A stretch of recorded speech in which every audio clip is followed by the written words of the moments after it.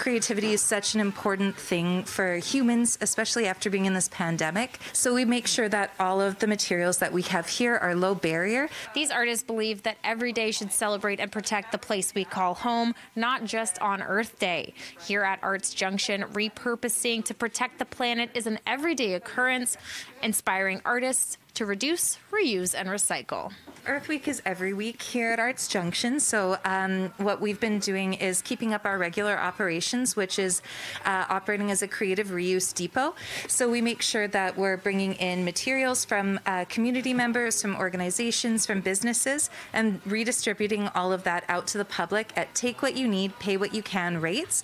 Having celebrated Earth Week with a number of activities, on Friday, local artisans displayed their creations from reusable goods, reiterating the importance of recycling recycling, especially in art. Textile waste is such a huge, huge global problem. And so I thought when I'm working with textiles, the least I can do is pull something out that doesn't cause more demand.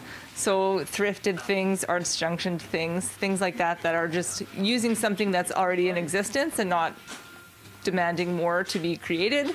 Plus, older stuff is always better quality. Leather lasts a lifetime, and there's nothing more tragic than throwing away something that's going to sit in the, in the, in the landfill not rotting because this is treated to last.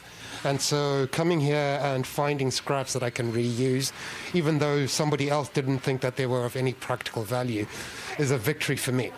Though buying new can be nice, buying used can be nice for the future of the planet, ArtJunktion believes. When you're buying new items, you're you're creating an impact on the earth. So whether that's to do with the carbon footprint, um, the packaging that they come in, or so on, uh, those things all have a toll on the planet, and we need to get a lot more, um, you know, careful and cautious about how we're consuming and how we're utilizing the materials that already exist, which are the best materials. And for those artists who try to save the planet in their work, it's important to acknowledge days like this. It's, an, it's a random day, April 22nd, to celebrate um, Mother Earth, but might as well come down and um, actually acknowledge the fact that, you know, this one random day has been given to something so important. And to cheers and celebrate, ArtJunktion, in collaboration with Fessel Beer, also launched its Earth Day IPA on Friday. For more details, visit either website.